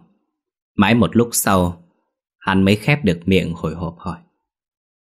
Là em nói đấy nhá, Muốn gì em cũng chịu Bà Tuyết bĩu môi nói. Dĩ nhiên rồi, còn phải nói. Vậy anh muốn một chiếc ô tô, Em chịu chứ? Lời của gã khiến bà Tuyết thay đổi hẳn tâm trạng. Nhắc đến mới nhớ Ngọc Lan cũng đang đòi mua xe. Tuy mang tiếng làm dâu nhà hào môn, Nhưng bà ta đâu được quản lý tài chính. Mỗi tháng lão chồng đưa cho bà cũng chỉ đủ chi tiêu trong nhà, Dành vào việc quán xuyến gia đình. Tích cóp tàn tiền mãi mới có dư chút đỉnh. Bây giờ bảo mua tới hai chiếc ô tô cùng một lúc, Thì e rằng số tiền phòng thân bà dùng để dưỡng già sẽ cạn sạch. Hai mắt bà Tuyết nhíu vào nhau, mơ màng ngẫm nghĩ. Cuối cùng bà ta quyết định đồng ý, Bởi nếu chuyện này thành công thì đừng nói hai cái xe. Đến cả biệt thự siêu xe bà còn tậu được nữa là. Bà Tuyết chẹp miệng ẩm ừ nói. Muốn xe cũng được, Nhưng tay anh phải nhúng máu.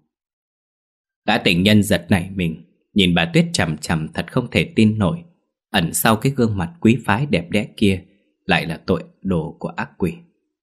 Ông ta lắp bắp hỏi lại. Em... em nói thật chưa Tuyết? Là giết... giết người sao? Bà ta cười nhếch môi gật đầu. Đúng rồi, Anh dám làm không?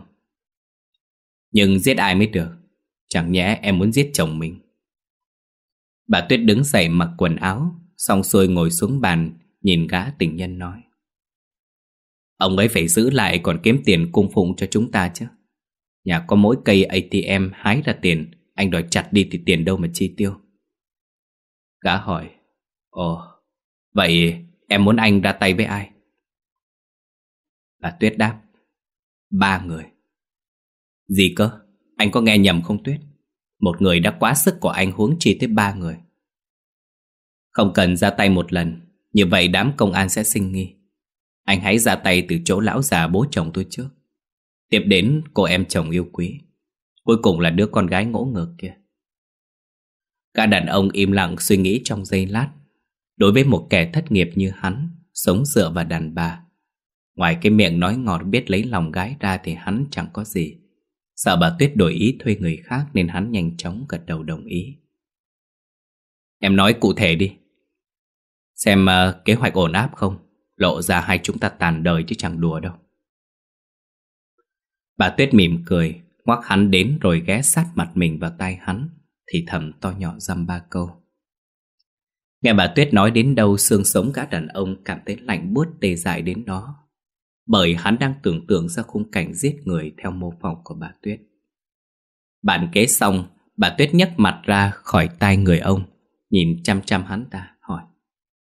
Sao? Anh làm được chứ? Thấy hắn không nói gì, nét mặt có chút sám ngoét vì sợ.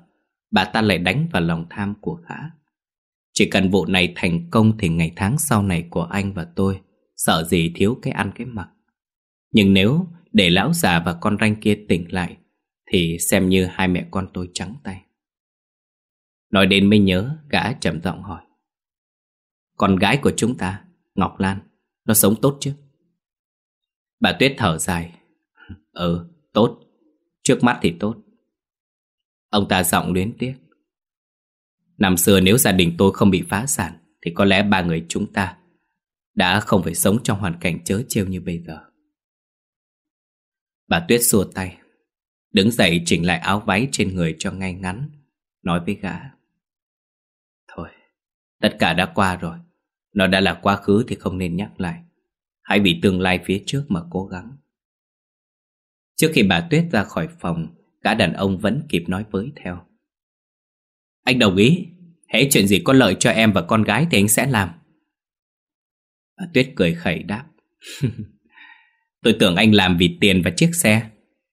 Nói xong bà ấy bước đi tiếp Bỏ lại thêm câu nói. Vì gì cũng được Cứ đúng như kế hoạch mà làm. Đợi bà Tuyết đi khuất Gã đàn ông đóng sầm cửa lại.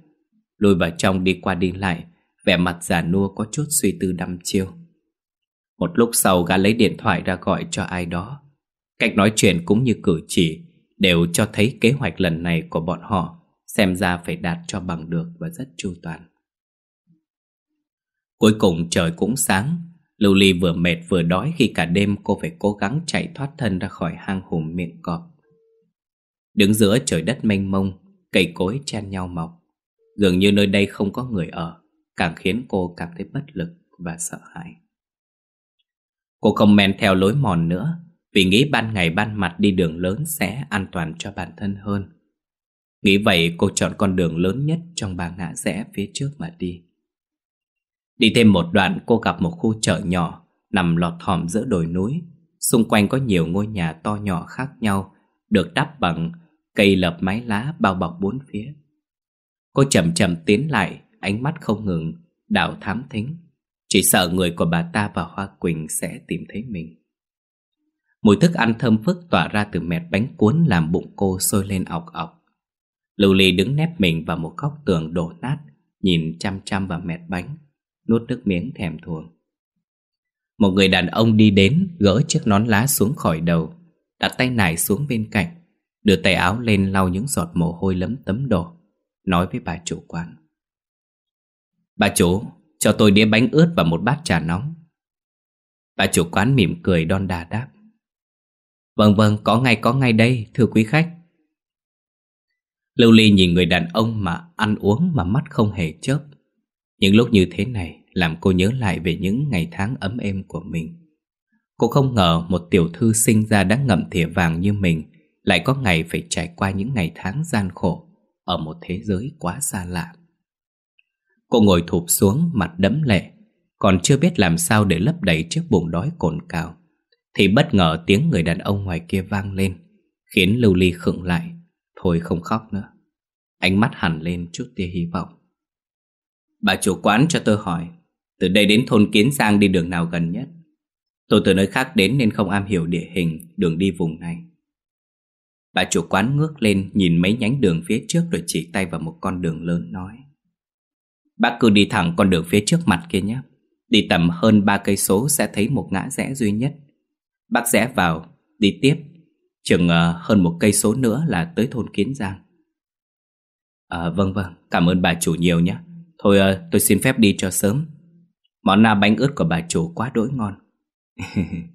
Bác cả quá khen. Lần sau đi ngang qua đây nhớ ghé ủng hộ tôi nhé. Nhất định rồi. Lưu Ly ngờ ngợ về thôn Kiến Giang. Cô ngẫm nghĩ một lúc hình như mình đã nghe tên đó ở đâu rồi thì phải. Một lúc sau sực nhớ ra điều gì đó, Lưu Ly à thầm trong miệng, Vỗ đùi đét một cái Làm nhảm ngẫm nghĩ. Thì ra thôn Kiến Giang mà Văn Thanh đã từng nhắc đến, Anh ấy nói với mình sẽ đến đó một chuyến. Gạt chuyện chiếc bụng đói sang một bên Lưu Ly đứng dậy nhìn theo bóng lưng người đàn ông rồi đi theo ông ta. Trong lòng cô ngập tràn sự hy vọng sẽ gặp lại Văn Thanh ở đó. Cả đêm không thấy vợ về Văn Thanh trong lòng nóng như có lửa đốt. Anh cứ đi đi lại lại trong phòng Tâm trạng phập phòng lo lắng. Nhỏ may lên tiếng. Cậu chủ, cậu đừng đi tới đi lui nữa được không cậu? Em xém chút hoa mắt chóng mặt vì cậu. Văn Thành phóng đôi mắt sắc lạnh nhìn nhỏ may, khiến ánh mắt nó trùng xuống, mặt cúi gằm tựa như muốn tránh né ánh mắt giận dữ của cậu chủ.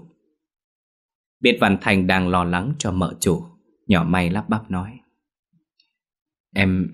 em xin lỗi, cậu đang lo lắng cho mợ mà em còn nói vậy. Văn Thành thở dài, Ngồi xuống ghế nhấp ngụm trà xong rồi hỏi Cô có biết dạo gần đây mợ chủ hay qua lại nói chuyện với những ai trong nhà này không? Nhỏ may nghiêng đầu ngẫm nghĩ về lời cậu chủ nói. Bỗng ánh mắt nó mở to tròn nhìn cậu chủ đáp. Cậu chủ, em nhớ rồi. Mợ hai có đi gặp cô chủ hoa liễu hai lần ngày hôm qua cậu ạ.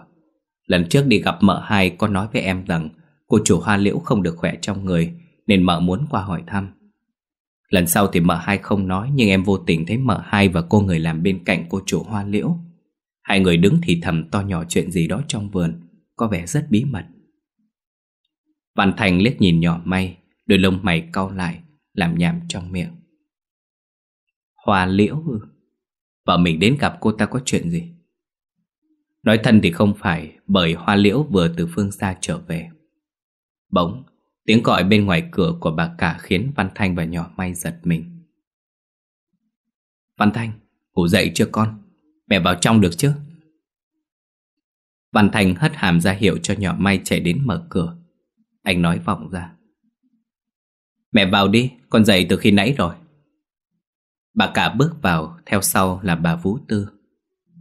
Ánh mắt lạnh lùng của Văn Thanh nhìn bà Vũ chằm chằm. Ẩn sau đằng sau cái gương mặt Thật thà chất phác của bà Vũ Lại là một tâm địa rắn độc Nhiều lần anh tự hỏi, Bà ấy mà là mẹ tôi ư? Người đã sinh ra tôi, Cho tôi một hình hài, Nuôi nấng tôi suốt bao năm tháng vất vả. Cuối cùng vì lý do gì lại nhẫn tâm đem tôi đi bán, Làm vật thế mạng cho kẻ khác? Chắc có lẽ bà Vũ đã quên mất chỗ đem xác cậu đi chôn trong rừng. Chính là chỗ bà cả đào huyệt mộ, Dùng để dưỡng thi cậu con trai yêu quý của bà ấy. Không biết tạo hóa chiều người hay do ông trời sắp đặt, Hồn phách cậu lại gặp đúng những kẻ Đã nhẫn tâm giết mình. Lưu Ly vẫn chưa về hả con? Tiếng bà cả hỏi kéo Văn Thanh về thực tại. Anh cố nốt nước mắt giấu cảm xúc vào bên trong, Lạnh lùng đáp. Cô ấy vẫn chưa về. Bà cả thở dài dặn dò May Mày à Lát nữa ăn sáng xong à, còn qua nhà mẹ đẻ của mợ hai một chuyến, Hỏi xem mợ có về thăm nhà không. Nếu gặp mợ hai ở đó, Nhắn mợ thăm người thân xong rồi nhớ quay về nhà nghe chưa? Mày gật đầu đáp. Dạ vâng con nhớ rồi thưa bà chủ. Bà cả vỗ vỗ vào tay Văn Thanh, An ủi thêm vài câu trước khi đi. Con đừng lo lắng quá, Lưu Ly sẽ quay về nhà ta sớm thôi mà. Thay quần áo rồi ra ngoài ăn sáng Cha và các dì đang đợi con ở bên phòng ăn. Văn Thành khẽ gật đầu. Trong phòng bây giờ chỉ còn lại mình cậu, Cái cảm giác trống vắng ùa về. Căn phòng thiếu tiếng cười nói của Lưu Ly trở nên ảm đạm u ám hẳn. Văn Thành đập cánh tay lên thành cửa sổ. Tạo ra tiếng động nghe khô khốc như củi khô bị gãy Lầm nhầm trong suy nghĩ. Lưu Ly, em đang ở đâu cơ chứ? Dù em ở đâu cũng được Nhưng đừng gặp gì bất chắc. Tôi lo. Hỏa liễu vừa trải qua cơn thập tử nhất sinh Cộng thêm nỗi đau mất đi đứa con Nên tinh thần cô càng thêm xa suốt Suốt từ hôm qua đến giờ Đã gần một ngày trời Mà hoa liễu vẫn không buồn ăn uống gì Nằm bất động trên giường Mà nước mắt rơi lạ chả Bà ba đẩy cửa bước vào Chẳng buồn khỏi cửa đánh tiếng như mọi khi. Bởi bà ta biết mình có lên tiếng hỏi gì Và lúc này thì hoa liễu cũng không buồn trả lời. À, Ăn cháo đi con Mẹ tự tay xuống bếp nấu đấy. Hoa liễu vẫn nằm im. Mỗi khi nhìn thấy mẹ mình Thì hình ảnh người mẹ tàn ác đêm qua Lại hiện hữu lên trong tâm trí. Cô không hận bà ấy Bởi lần này do cô sai. Chỉ trách mẹ vì quá bảo thủ Mà nhẫn tâm giết chết cháu ngoại của mình. Cũng là đứa con mới hình thành của cô. Bà ba lại lên tiếng hối thúc. Dậy ăn đi con, Ăn no còn uống thuốc. Như vậy mới mong vực dậy được sức khỏe. Họa liễu gạt nước mắt, Trở mình nằm nghiêng người quay vào trong, Tránh phải nhìn thấy sắc mặt của chính mình. Bà ba toàn lên tiếng, Nhưng bên ngoài có tiếng gõ cửa, Khiến bà ấy giật mình, Ngoảnh ra hỏi. Ai đấy? Người ngoài cửa đáp. Dạ là con đây mẹ. Đó là Trúc Diễm, Người yêu của Văn Viễn, Cũng là cô con dâu tương lai của bà ba. Bà ba lập tức thay đổi sắc mặt, Vội vàng bưng chén thuốc giấu xuống cầm giường, Rồi nói vọng ra. Đợi mẹ một chút, mẹ ra ngay đây. Bà ba trước khi ra mở cửa cho Trúc Diễm, Không quên dặn dò con gái. Con à Chuyện đêm qua và chuyện con chữa hoang, Chỉ có mẹ và em gái con biết. Tuyệt đối phải giữ bí mật chuyện này nhớ chưa con? Không thấy Hoa Liễu trả lời Chỉ thấy đôi vai run bẩn bật theo tiếng nấc. Bà ba lắc đầu thở dài rồi quay đi. Cũng may người ngoài kia là Trúc Diễm. Vừa vào trong phòng Trúc Diễm đã lên tiếng hỏi. Ừ, Mẹ Hoa Liễu bị bệnh hả mẹ? Bữa ăn sáng con không thấy em ấy. Bà ba mỉm cười nói với Trúc Diễm. Nó bị bệnh rồi con ạ. Mẹ đang cho người đi mời thầy lang đến khám bệnh. Sợ Trúc Diễm hỏi nhiều sinh nghi ngờ. Bà ba nắm tay Trúc Diễm vỗ vỗ hỏi chuyện. Cốt là đánh chống làng sang chuyện khác. À mà, Mẹ nghe thằng Viễn nói ngày mai đưa con về phải không? Sao con về sớm thế? Không ở lại chơi thêm ít hôm rồi hẵng về. Trúc Diễm thấy bà mẹ chồng tương lai quan tâm đến mình, Trong lòng tỏ ra vui lắm. Cô ta ngước nhìn bà ba e thẹn nói. Dạ Con cũng muốn ở đây lâu hơn. Nhưng ba ngày nữa tới đám rỗ của bà nội con, Nên cha mẹ kêu con về ăn đám rỗ. Với lại chuyện của tụi con mẹ cũng hiểu quá rõ rồi. Con... con... Nói đến đây Trúc Diễm đỏ mặt quay đi, Ngại ngùng không dám nói tiếp. Thái độ này bà ba nhìn không quen so với tính cách thường ngày của cô ta. Nhưng đã hiểu ngay ra vấn đề mà Trúc Diễm muốn nhắc đến. Bà ba cười nói Mẹ tưởng chuyện gì? Chuyện đó mẹ đã bàn với cả cha thằng Viễn rồi. Tuần sau cha mẹ sẽ nhờ bà Mai sang nhà đánh tiếng. Nếu ờ, cha mẹ con cho phép Thì bên này cha mẹ sẽ sắm Chầu cau qua dạng ngõ. Đợi thầy tìm ngày tốt, Xin đón con về nhà họ ngô làm dâu. Trúc Diễm nghe xong càng tỏ ra vui mừng. Hai người họ đều không biết rằng Hoa Liễu đang ôm bụng đau đớn, Nằm đun cầm cập trên giường, Đến vã cả mồ hôi hột. Đuổi khéo lắm, Trúc Diễm mới chịu về Mà không hề hoài nghi đến bệnh tình của Hoa Liễu.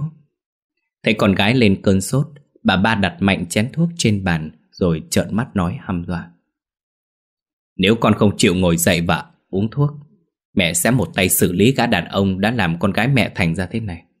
Con chọn đi, Một là nghe lời mẹ, Hai là thằng đó phải chết. Biết mẹ mình thừa khả năng tìm ra tung tích người yêu nên Hoa Liễu cố lết tấm thân tàn tạ ngồi dậy. Khuôn mặt tái nhợt, Đôi môi căng mọng đỏ chót thường Ngày nay đã không còn. Nó bạc phách theo tâm trạng cô lúc nào. Hoa Liễu bước xuống, Chân bước đi không vững, cứ siêu siêu vẹo vẹo nhiều lần rình ngã. Tay phải vịn vào thành ghế, Để giữ thăng bằng cho cơ thể. Cô nhìn mẹ mình Bằng ánh mắt thất vọng nói, Mẹ muốn con ăn thì con sẽ ăn. Nhưng nếu mẹ muốn làm hại người con yêu Thì mẹ sẽ mất con mãi mãi Con... Bà ba giận tím mặt khi nghe con gái mình nói vậy Bà chỉ tay vào mặt hoa liễu Giọng đun đun nói trong sự giận dữ Ngô Hoa Liễu, chị giỏi lắm. Tôi để cho chị ra ngoài học hỏi cái hay một thời gian nhưng khi quay về chị dám nói chuyện thách thức với mẹ chị à? Chị còn xem tôi là mẹ nữa không hả? Hoa Liễu cười nhạt, nhìn xa xăm ánh mắt vô hồn nói. Mẹ thương con mẹ, mẹ đau khi thấy con mẹ đau. Vậy mẹ có biết cái cảm giác của con khi bị chính mẹ ruột của mình tước đi mạng sống của con mình không hả mẹ? Con hận mẹ, mãi mãi hận mẹ. Con, Dám nói với mẹ vậy đấy hả? Nói xong, Hỏa liễu bưng bát cháo lên đổ hết vào miệng, ăn nhồm nhòm như chưa hề được ăn. Nhìn thấy cảnh con gái ăn một cách điên loạn đến nỗi cháo văng ra cả tóc tai quần áo. Bà ba chỉ muốn lao vào tát cho hoa liễu một cái để cô tỉnh. Nhưng bà ta không làm được.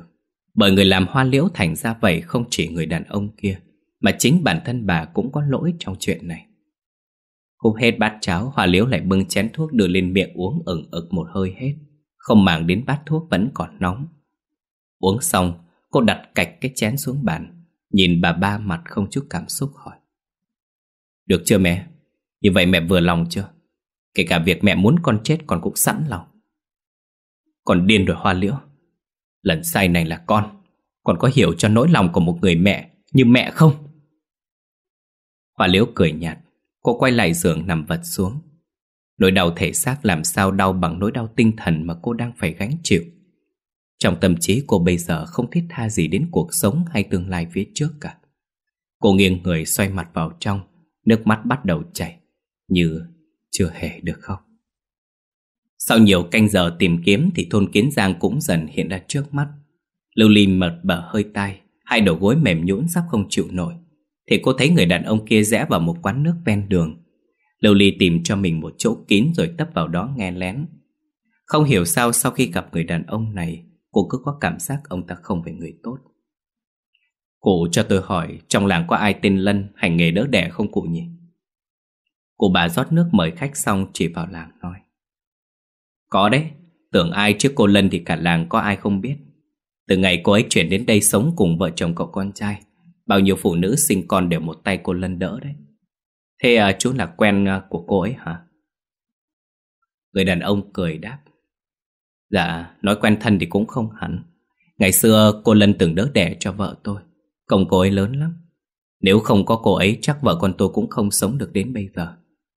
Hôm nay sẵn có việc đi ngang qua đây, tiện thể vào thăm cô ấy cùng gia đình cụ ạ. Bà cụ cười hà hà tay phe phẩy cây quạt, chỉ về con đường phía cuối làng rồi nói. Đấy, con đường kia dẫn tới nhà cô Lân đấy. Nhà cô ấy nằm tách riêng biệt với người dân trong thôn. Do mảnh đất nhà cô ấy đang ở là do cậu con trai của cô ấy khai hoang mà có. Nghe lời bà cụ nói, gã đàn ông mừng thầm trong bụng. Nhà bà đỡ nằm tách biệt với dân cư trong làng thì càng tốt. Vậy ờ, dễ ra tay hơn. Ít ra cũng không sợ bị phát hiện sau khi gây án. Người đàn ông tay sách này đeo lên vai, trả cho bà cụ tiền nước, nói câu cảm ơn rồi đi theo lối bà cụ chỉ. Lưu Ly bám theo sau, khoảng cách giữa cô và ông ta không quá gần, cũng không quá xa. Đủ để cô quan sát thấy đường đi nước bước của ông ấy, và cũng là vừa muốn giữ khoảng cách an toàn cho bản thân.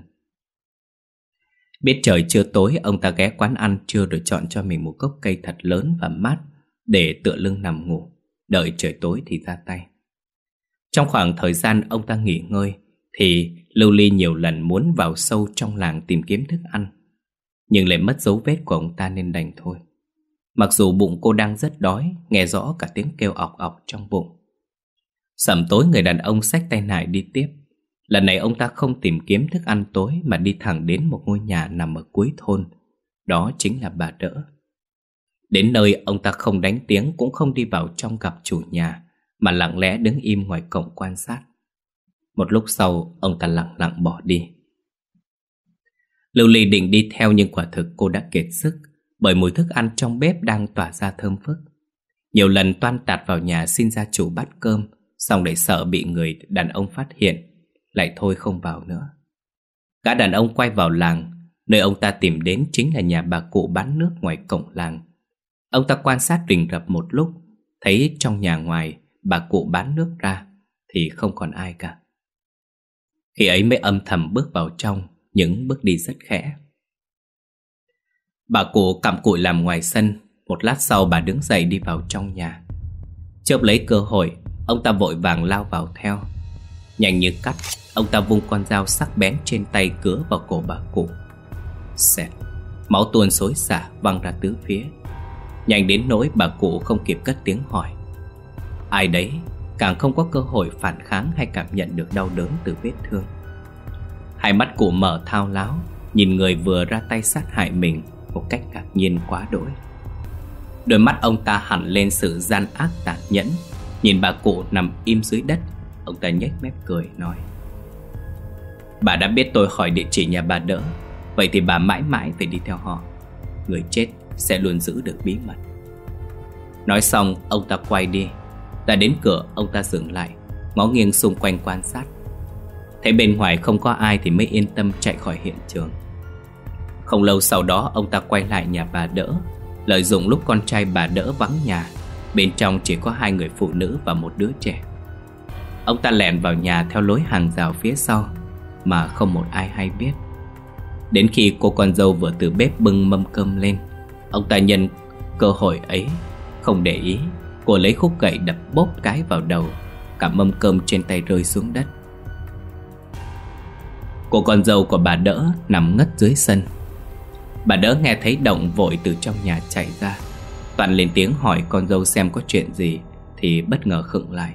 Sửng sốt khi nhìn thấy người đàn ông trước mặt là người quen. Ông, ông, sao ông lại đến đây làm gì? Nói dứt câu bà đỡ liếc nhìn sang chỗ cô con dâu nằm Bên à, mâm cơm vỡ tung tóe dưới mặt đất. Sắc mặt lập tức thay đổi khi nhìn chằm chằm vào ông ta. Dường như bà đỡ đã biết mục đích người đàn ông này tới đây tìm mình. Trong lòng nảy sinh có dự cảm chẳng lành.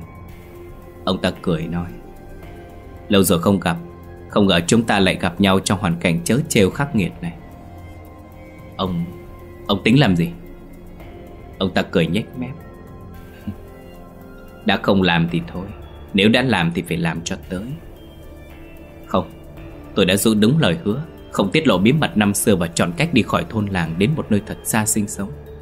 Tại sao vợ chồng hai người lại không giữ lời hứa? Khi đó cháu trai của bà đỡ Từ trong buồng ngủ chạy ra. Cậu bé ngây ngô hỏi. Bà nội, Ông ấy là người xấu hả bà nội? Mẹ cháu đâu? Mẹ mẹ cháu đâu rồi? Bà đỡ kéo cháu trai vòng ra phía sau lưng mình Tự như muốn làm lá chắn che chở cho thằng bé. Tôi biết, Nhưng thỏa thuận đó đến hôm nay Không còn nữa. Ông ta vung dao, toàn chém bà đỡ, Nhưng bà ấy vội tránh né sang một bên, Thoát khỏi lưỡi dao tử thần trên tay ông ta. Cháu ơi, chạy đi. Chạy vào làng cầu cứu mọi người nhanh lên. Bà đỡ đẩy cháu mình ra ngoài. Chỉ thằng bé lối đi vào làng Ở phía sau đầu hồi nhà. Cậu bé hét lên nước mắt giản rủa Cháu muốn đi cùng bà nội. Cháu muốn đi cùng mẹ đi tìm bố. Mau, nghe lời bà nội. Vào làng nhờ người tới giúp. Đi nhanh. Bà nội ơi, Cháu cháu. Đi nhanh lên. Bà sắp đỡ không kịp rồi. Vừa nói, bà đỡ vừa nắm chặt cánh tay mà ông ta đang cầm dao. Gồng mình cố gắng đẩy nó ra xa. Nhưng sức bà ấy già yếu cộng thêm thân phận phụ nữ Thì làm sao đủ sức đối phó với gã đàn ông to khỏe kia. Bà đỡ thét lên, Một tiếng thét kinh hoàng Tự như muốn lay chuyển trời đất. Quần khốn nạn, Các người sẽ bị trời đánh. Ông ta nở nụ cười man dại, Nhìn chăm chăm vào gương mặt già nua khắc khổ của bà đỡ trực mắt nói. Trước khi tôi bị trời trừng phạt. Thì hôm nay bà xuống âm phủ trước đi. Chết tôi rồi, làng nước ơi! Tiếng cào thét của bà đỡ vang vọng, Đánh thức Lưu Ly đang nằm ngất lịm người đi vì đói khát. Đầu cô đau nhức, Cô chỉ nhớ trước khi ngất đi do đói quá, Nên cô ngã xuống đất. Mọi chuyện sau đó cô không rõ. Cô vùng dậy, luống cuống chạy vào trong, Vì nghĩ gia chủ gặp chuyện. Thuận xin phép dừng buổi phát truyện ngày hôm nay tại đây. Và hôm nay à, chúng ta đã cùng nhau trải qua tập 6 của bộ truyện này rồi và còn 4 tập nữa quý vị nhớ theo dõi nhé. Và câu chuyện đang càng ngày càng hấp dẫn phải không ạ? À?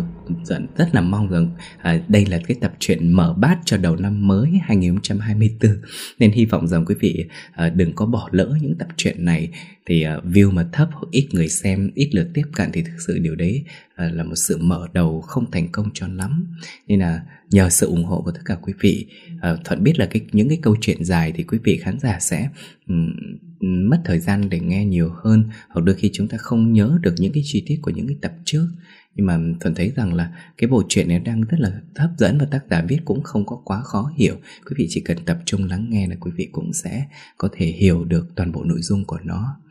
Bởi vì nó cũng có khá là nhiều tuyến nhân vật mà, nên là quý vị à, chịu khó và ủng hộ cho Duy Thuận ờ, và kênh ở trong dịp đầu năm mới này nhé Đừng bỏ lỡ bộ truyện này nhé Chúng ta còn 4 phần nữa. Hy vọng rằng quý vị sẽ lắng nghe.